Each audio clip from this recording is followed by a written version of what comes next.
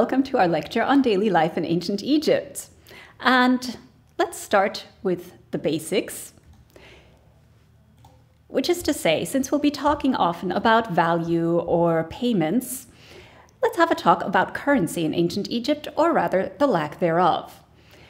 They did not have coins, they did not have any means of currency the way we understand it today. What they did have was a system of equivalent value, which is to say that it was based on a certain weight in copper called the deben. In the New Kingdom, this was 91 grams of copper. Um, as you can see, over time, they had various weights to measure that. However, people did not get paid in copper or did not pay in copper. Instead, this was used as a way of measuring the worth of things. Here you can see the monthly wages for workers in Deir el Medina in the New Kingdom. And the worker receiving 11 deben would not have received it in copper, but in grain. Um, but he would have received the equivalent in grain to 11 deben of copper. And this was very useful, for example, when you went to the market, because the ancient Egyptian economy was a barter economy, which means that you would be exchanging objects for other objects. Um, you would be exchanging the grain you got as your wages in order to buy other foodstuffs or clothing or whatever else you might need. But to make sure that the exchange was equivalent or near to equivalent, knowing the value of the various objects in Deben allowed you to know if you were being cheated or try to cheat other people. Now that we've established that, um, we can have a little bit of a look at various commodities and what they were worth in the 20th dynasty. Um, as you can see, some things could vary greatly. Um, for example, a mirror could vary depending on what it was made of from 6 to 100 deben. So you could buy a very simple mirror for six deben, or you could splurge for one with gold leaf or whatever else you wanted for a hundred. Um, as you can see, foodstuff was mostly fairly cheap, but when you think of the fact that a worker only had 11 deben, you can see that um, life could also be very hard. Assuming you have enough money for it, or you fell in love. Let's start our journey through daily life in ancient Egypt with affairs of the heart. Um, courting seems to have been very similar to modern courting. Um, we know that lovers went on picnics, that they gave each other gifts. We have a number of love poems from ancient Egypt that are full of pining, and wishes to see their loved ones and how ill you feel when you don't see them for a few days. Um, jealousy and everything that belongs to an exciting courtship.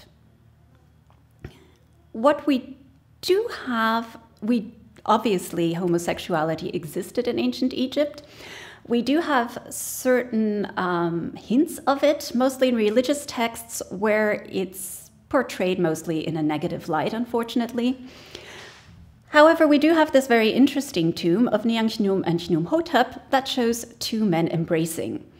Um, the problem is we don't exactly know if why they're embracing. Um, there's a parallel theory that these are twins. Um, there are some things that speak in their favor. One is the fact that the names both are very similar, both having the name of the god Chnum in it. Um, both were married. This could have been due to societal norms and less to do with um, sexual orientation. Um, and actually, the fact that they are embracing and kissing may, in fact, rather, because ancient Egypt, in ancient Egypt, it was very rare to show people actually kissing. So to have that shown in a tomb might be to show that they were very close, say in a mother's room, rather than showing a romantic love. However, it could equally show that we have here a very close homosexual or bisexual couple who decided to build their tombs right next to each other um, in a sort of double tomb and show their love in relief. Of course, not every love affair went smoothly. Um, we have several instances where we know that there was trouble in paradise. One is here in our museum. It's a very lovely letter from a man called Hotep to his lady love Iporesti, telling her that she shouldn't listen to all those rumors about another woman and that he's sending her raisins, uh, a bundle of onions, and some grain. Nowadays, we would expect him to appear at her doorstep with a bunch of flowers and a box of chocolates. And we also have a very interesting letter from a man called Hekanacht to his family. Hekanacht was chiding his family for not treating his new wife very well um, saying that they were keeping her socially isolated and that they should stop and treat her properly. How exactly did you get married in ancient Egypt? Well, it was actually very simple. You decided you loved each other, you moved in together, and generally it was expected that you gave a banquet. Once you started living together, you were considered a married couple, and sexual relations outside of that household was considered cheating. It was common, at least for families that were financially stable, for the earner, generally the man, to play a sort of pin money or salary to not only the servants in his household, but also to the family members, so that they had a certain amount of financial independence. So here we can see we have the Hekanacht household, including his second wife, Hetepet, who received 0.8 sacks of barley. Um, what's unclear is if it's per day, but most probably these things are per month, at least for um, salaries of dependents. Um, we see that his eldest sons from his previous marriages received money. His daughters from his first marriage, they're probably younger and therefore receiving less. And his very youngest daughter is very probably um, still extremely young, so that she re only receives 0.2 sacks of barley. There was an intention um, to make sure that family members had a certain amount of financial independence. However, some things are not meant to last. Divorce was possible in ancient Egypt. Various grounds would be adultery, um, could be incompatibility, um, or lack of love. And all these were considered acceptable reasons to file for divorce. This could come from the man or the woman. The phrase is very simple, should be spoken in front of witnesses. We have um, instances in which this was also written down in a kind of divorce contract. And the phrase is simply, I abandon you and you are free to marry again, which suggests that both divorce and remarriage were not considered socially unacceptable. Um, Women, if they didn't have property of their own, received one third of the husband's property. Uh, however, if she left him and she had brought a dowry to the household, she was expected to leave some of that dowry with her husband when she left.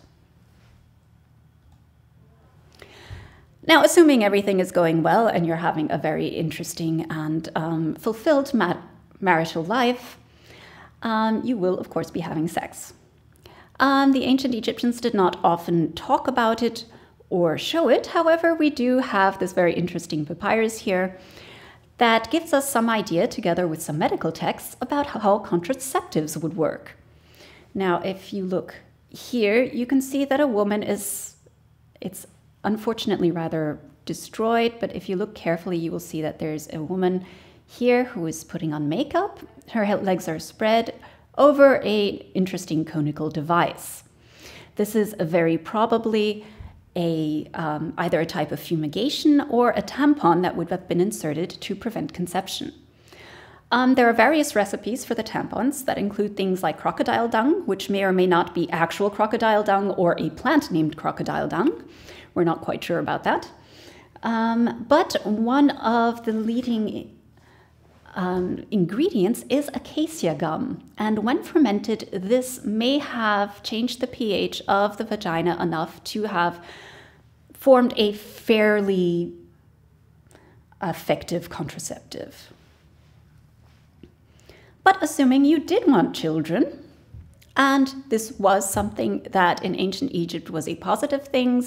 Um, stela show new, uh, families with numerous children. We saw that Hekanakht uh, also had a number of children from both marriages. Um, a woman would have received a certain amount of prenatal care depending on her social status, how much she could afford. Um, we do know there were gynecologists, there were doctors that were specialized in women's troubles. We do know that there were doulas or midwives, um, though those seem to have mostly come during the moment of the birth. Prenatal care mostly seems to boil down to go outside a lot and eat well which is very good advice. You get a lot of vitamin D and from the sunlight, and um, everybody knows that a good nutrition is very important. We don't have a lot of information on prenatal care from a medicinal point of view. What we do have is some recipes to accelerate labor, most probably when the woman is overdue or is having trouble with her contractions. Um, what we also don't have is any evidence for surgical births. Now, we do know that um, tears were would have been repaired with sutures, but um, there is no evidence, for example, for a cesarean section. How exactly the birth took place um, we do know that something called birth bricks played an important role. However, what we're not sure of is exactly what role.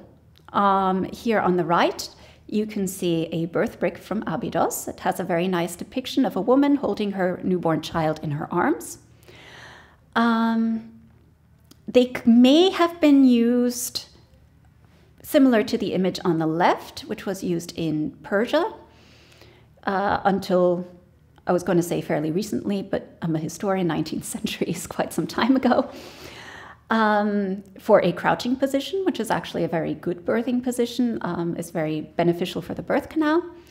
Or it may have been placed around the birthing woman for a purely magical protection, um, or there's some evidence that the newborn child was placed upon them also either for the pre- postnatal exam or as a form of magical protection again. Um, evidence for crouching during birth is fairly rare. We see it here. This is in Dendera. This is a, a very late example. Most examples show the birthing woman either sitting on a chair or on a bed. Um, here we do have her crouching, and most of the texts that mention birth mention either a mat or a bed. So it seems that some form of sitting uh, half seated or lying down would have been the preferred birthing position. The midwives are uh, shown and described as being behind, so holding her up in some way, and in front, obviously, to manipulate the baby. And hopefully, if everything goes well, you have a happy mother and child. And we have a number of depictions of so called arbors that uh, show a woman nursing either on a bed that would have had depictions of Bes or Tauret. Those are protective deities for mother and child. Um, on the left, she's sitting on a seat. Um, She's shown being attended to by women who bring her mirrors or are doing her hair. And it seems to be a very light construction with a lot of vines and plants that decorate it. Um, this suggests that a certain amount of time was left for the woman to recover from the birth, and where family members or domestics would have taken care of her and given her some time to bond with her baby. However, not everybody can nurse all the time. Nursing uh, seems to have been for about three years generally, um, but either when you're on the road or for uh, if you have to leave your baby for a little while, we do have evidence that milk was express, expressed and stored in bottles. We have a number of bottles, like the one on the left, showing a mother and nursing child. Um, we also know that the breast milk of mothers, especially those that had given birth to sons, were used in certain medicines. So if you had some to spare, you could always sell it. Um, and on the right, we have something wonderful. This is either for giving medicine or maybe for giving small amounts of milk to a nursing baby. It's a little nursing cup and it's decorated with little protective demons. Um, of course, if you could afford it and you didn't want to nurse yourself, you could retain the services of a wet nurse we have wet nurse contracts from the Greco Roman period, and we know the names of several royal wet nurses. For example, Maya, who was a wet nurse of Tutankhamun. Um, we know the name of Nefertiti's wet nurse, even though we don't actually know the exact name of her parents. Of course, you would want to take your child with you when you can, and a very simple carrying sling was used for that. Um, in Egypt, the child seems to have been held in front, and we know from other depictions that in Nubia, for example, it might have been carried on the back. Growing up, the child, of course, would love to play. We have evidence for a number of games that don't require any toys, um, simple games that are shown on the walls of tombs, um, running games, spinning games, jumping games. Uh, balls, of course, existed. Here they are made out of um, palm leaves. But we also have evidence for a number of toys. My favorite are all the ones where the mouth opens. We have a fair number of them, including a lion, a dog, and a crocodile. Um, here from the Greco Roman period, we have some dancing figures. You could move a little lever and they would dance around. Uh, board games were enjoyed by adults as well, and we also have a number of them that have survived from ancient Egypt if you could afford it, because there is um, circumstantial evidence that you did have to pay for schooling, one. Two, of course, uh, poorer people would have needed their children to participate in earning money or just toiling the fields or helping out at home. Then you might go to school. We're not entirely certain where the schools were. We do know there was a temple school and there was a palace school. Most likely, smaller temples might have offered some sort of schooling service. We do have remains of educational materials that suggest that a school was somewhere near, for example, near the Ramesseum, the uh, funerary temple of um, Ramses II. We do know there was some sort of school there because we have found the materials for the children but we're not sure exactly in what room it is. It is also entirely possible that um, school was mostly outside and moved from place to place.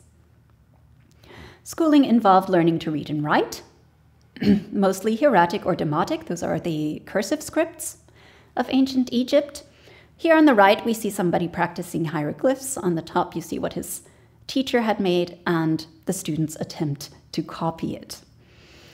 Um, as you can see, he's probably just starting out. Most people would not have learned the hieroglyphs. This was for draftsmen and the higher level scribes, people who were meant for the administration, um, who might have wanted to know what was written exactly on the tombs, and of course the priests who worked in the temples. Um, there's some evidence that some schools at least taught foreign languages because we have lists, uh, some vocabulary lists we know that mathematics were taught because we have the books with all the math exercises in them. Um, we also have some vocabulary lists that suggest a certain general knowledge of geography. There was no general curriculum, but there were some things that we do know were taught all through Egypt. There are some standardized tests like the Kemit, um, and certain literary texts that were used throughout Egypt. Um, this was a bit the equivalent of our modern Shakespeare or Catcher in the Rye or all the classics that were taught, except that these classics were also used to teach grammar and style because the students had to copy the texts to get to know them better. School probably lasted four to five years, after which you would probably go either to um, go on to be a lower level scribe or go on to some sort of specialized apprenticeship. Apprenticeships, of course, existed for professions that did not require reading and writing, and very often those pr- professions took place, uh, were passed on within the same family. We know that, for example, from Deir Medina, or here you can see that a mother is uh, baking while her child helps, hinders, and would probably have learned to become a baker in this way. Um, younger chi- children on the field would have worked very early to the best of their abilities. Here on the bottom, you can see them gleaning, gleaning the grain that has fallen down from the sickles. From our own statue of Beken Khonsu, we do know that even higher level or higher society children could go on an apprenticeship. He mentions four to five years at school and then four to five years as an apprentice in the royal stables before he went on to a higher education, which is not the way it was today.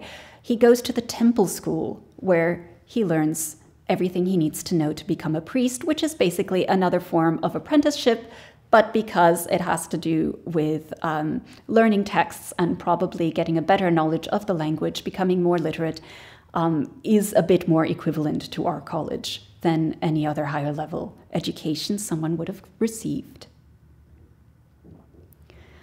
If you didn't know how to read and write, you were a scribe, you were a valued member of society. However, uh, the lower level scribes did not earn that much more than a high level artisan. Um, I think it was half a sack of grain for the lower level scribes in Deir el-Medina. However, if you had gone on and, say, apprenticed with in the administration, you had a chance to rise to the very highest levels of Egyptian society. Here you can see there's a scribal office and some of the tools of the scribes, including a palette for writing. You would have put your reed pens in there, and you have um, black and red ink for writing. Uh, the one on the top is a little holder for papyrus rolls. They did not have weekends the way we do, nor really rest days in clearly defined intervals. However, by observing the various feast days that existed in ancient Egypt, Egyptologists have come to the conclusion that about every 10 to 15 days there would have been rest days due to the feast of some local god or some greater god that would have allowed workers to have one to five days off at a time. Um, leaves of absences were common, they were noted. And here you can see a list of various reasons people took off work. A few entirely without reason. Uh, night out with friends apparently was a legitimate reason not to appear for work. Um, helping your colleagues various illnesses, obviously, scorpion bites, um, mourning, much what you would expect people to take off work for even today.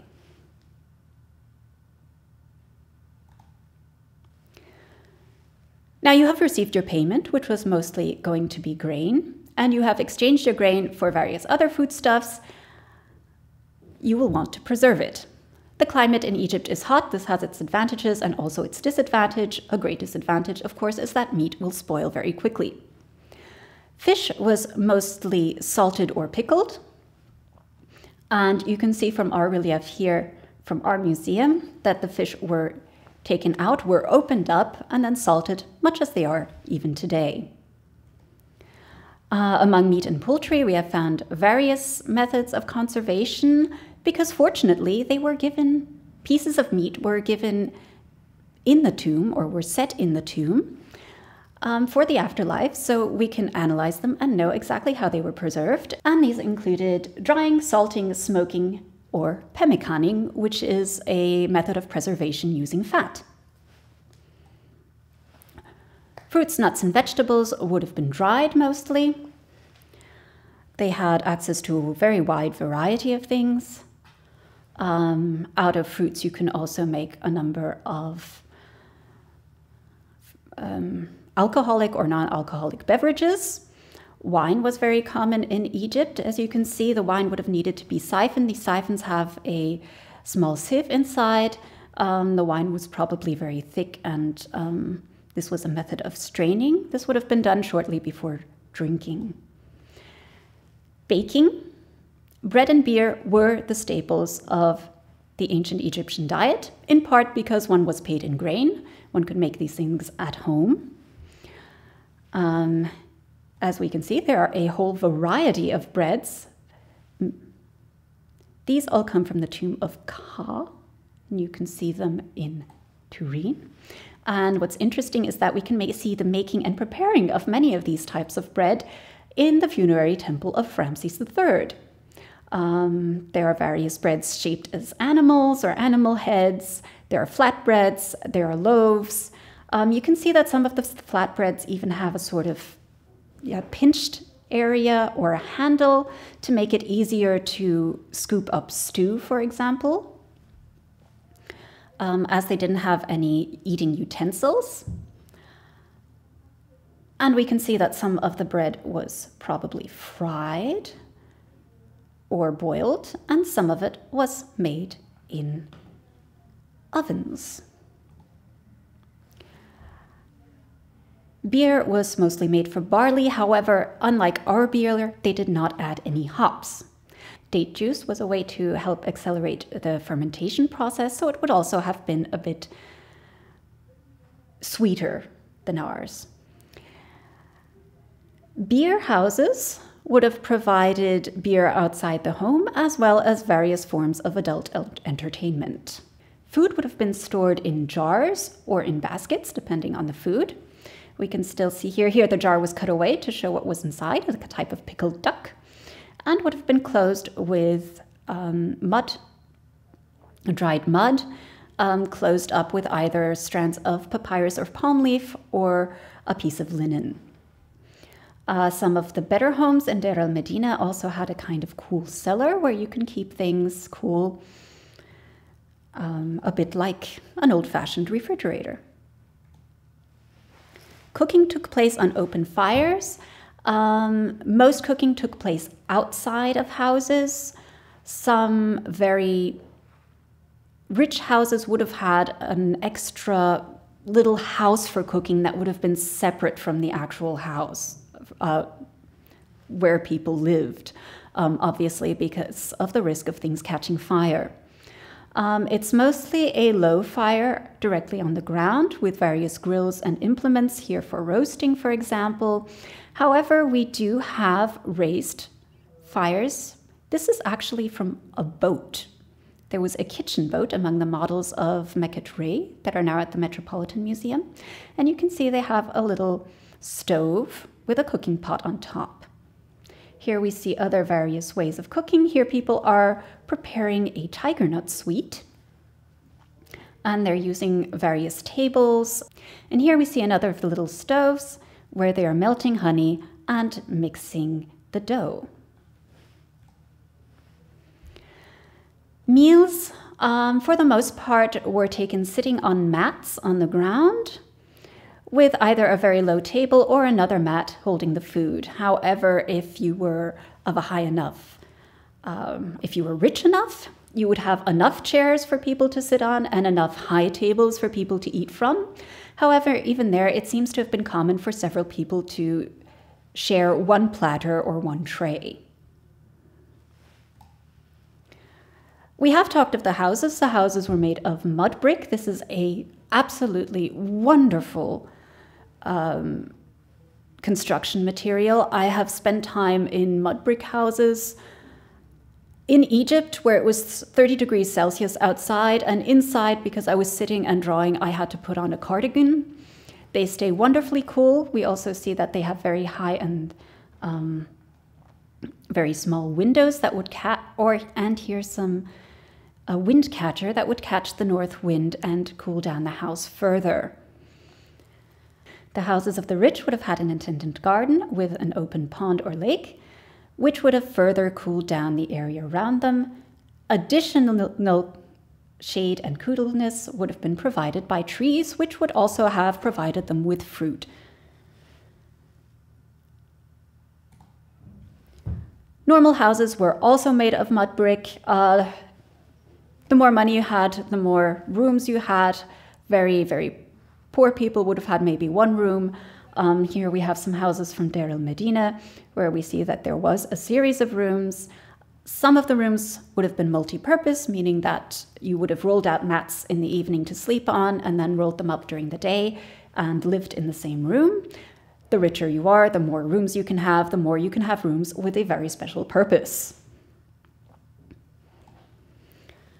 How did you bring light into these rooms? Well, for once, you did have windows, but they would have been very high up and fairly small. Often they would have had a grill to prevent too much direct sunlight from coming in, which would have warmed up your house. However, you did have lamps. They could have been very simple uh, lamps like the ones you have on the right. They would have been filled most probably with goose fat uh, or beef tallow. And you would have lighted them with a wooden lighter. You have two different types of wood, a hardwood and a somewhat softer wood. And with the help of a bow, you would have um, rubbed them against each other until you could light your fire. Um, there are various lampstands in case you needed your illumination a bit higher up.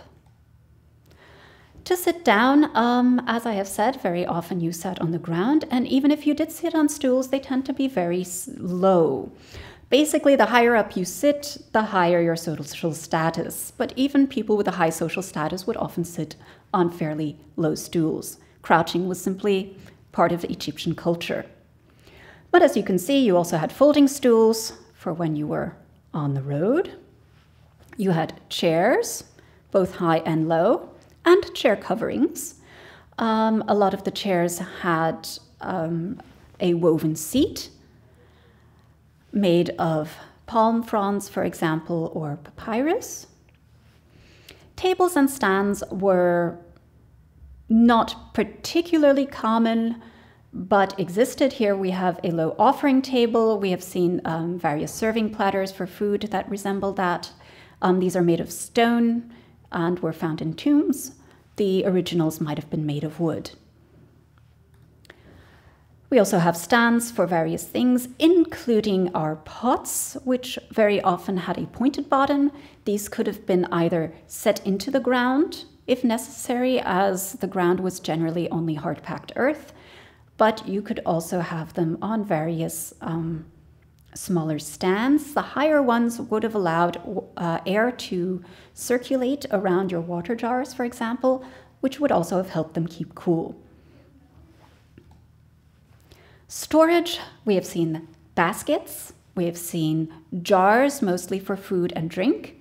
And for anything else, like your clothes and jewelry, you would have had a number of caskets made either out of reed or out of wood and these would have been either inlaid or painted or left simple depending on what it is. We even have a lovely little toolbox here with a list of the tools that are inside. If you want, you can pause and look at the actual list. When you carry things, they did occasionally carry on their heads, but very often we see the larger things being carried on the shoulder, or you had these very practical carrying poles, either for one person or for several people which was used to carry things in baskets, things like trees. This is a very small incense tree. Or you could string your dried meat or your catch from fishing on them as well. Sleeping was also done on mats in the most simple households. You would have rolled out your mat whenever it was time to sleep, rolled it up again. As we can see, we have thinner mats, we have thicker mats. Um, you can also see some brooms. They only had short handled brooms, no long handled brooms, which means that sweeping was a very back breaking exercise. And this right here is the ancient Egyptian equivalent of a pillow. They're actually not as uncomfortable as they look. I have tried them out They're not for sleeping on your back, they're for sleeping on your side. And there they are actually fairly comfortable, and as long as you're not too agitated a sleeper, they will keep your head high, um, away from various animals that might want to nest in it. Um, the, they also don't have the disadvantage that pillows would have had in rooms that are near the ground, where things such as snakes and scorpions would have been looking for your body heat or the heat of the cushion you are sleeping on. If you can afford it, your, bears, your beds were raised off the floor. And this is not the headboard, this is the footboard. We know this because the beds were set up in some of the tombs with the headrest right here. Uh, this is a bed again from the tomb of Kha, now in Turin, and they came with their blankets on it, as the nights in Egypt could be very cool.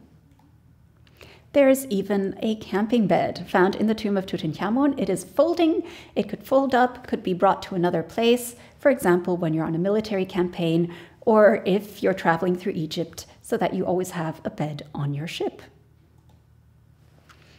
To get clean, the most common method was to have a basin and ewer.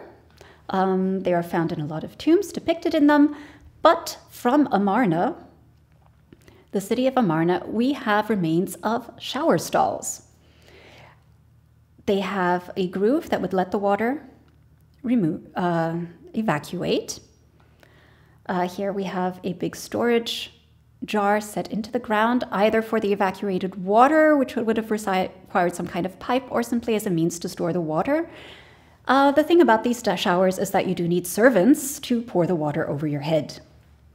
They are also in some of the little tiny waiting palaces that are adjacent to some temples as a means of purifying before entering the temple proper. Yes, we did have latrines. In a normal house that does not have a whole number of rooms, you might have simply a stool in which you could, with a hole in it, and you could place a jar underneath, maybe filled with scented sand. Or you could have, as part of your showering arrangement, as here in Amarna, here you have the shower, and you have a little nook where a toilet seat, such as this one, would have also been put over a large jar. Of course, you don't need to be clean, only need to be clean, you also need to be pretty. Um, we have a number of cosmetic boxes very elaborate, such as these, or simply baskets filled with cosmetic articles. These include unguent jars, which would have been scented. Um, these both work as a cream and as a perfume, and a number of various uh, spoons and open areas where you can sort of mix your own or keep things handy for when you just need a quick dab. This is a mirror, it would have been polished. Uh, most of them are made of copper or bronze, some of them are made of silver. And when polished as much as it goes, you can see yourself very well, even if it is not quite as clear as our modern mirrors. It is quite enough to be able to put on makeup. Makeup would have been applied with these applicators that you see here.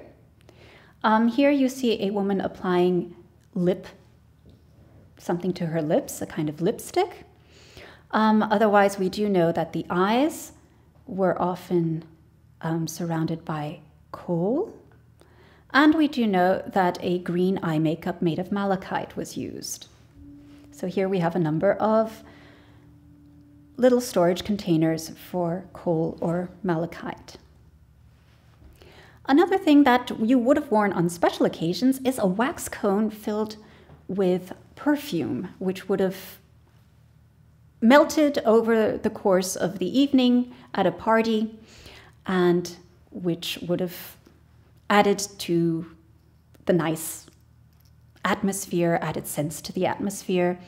And one of these have even has even been found, which is how we knew that they were not fat as originally thought, but made of wax. Hair care if you look at any of the statues uh, from ancient Egypt, you know that at least the upper class had very elaborate hairdos. These were very often wigs. And of course, you had to keep these wigs curled. This is a curling iron. You would have um, heated it up over a lamp and then wrapped either your wig hair or your hair around it. We have tweezers for removing hair in uncomfortable places. We have razors for your beard or your head. If you are wearing a wig, you would probably have kept your hair very short or shaved it off entirely. There are various ways to decorate your wigs, um, some more elaborate than others. And clothing was usually very simple in its cut. Um, here we have underwear. This is works a bit like a triangular um, nappy. Um, in the Old Kingdom, women had sheath dresses with um, straps. Though interestingly enough, most of those that have survived have sleeves, which are never depicted. Um, so it's assumed that they were removable so that if it's a bit cooler, you would have the sleeves on, and when it got warmer, you could take them off. And as you can see, there's a separate part here that would have been that would have been the straps that you see here on this depiction. In the New Kingdom, things become more elaborate. Women, uh, men generally wore kilts, which would have been long, just long pieces of cloth that would have been wrapped around. In the New Kingdom, these become very pleated, um, that could actually either be woven in or added under the belt as you wrapped it. And women get wraparound dresses that are basically the same. They're very long um, bolts of cloth that would have been wound around the body to form the elaborate dresses that you see. In the New Kingdom, also new, instead of being bare chested, men are often depicted wearing a tunic or shirt. That concludes our very superficial overview of daily life in ancient Egypt. I hope you had, um, I hope it gave you insight in what the lives of ancient Egyptians were like. And to take a little bit of it home, here's a recipe for tiger nut sweets.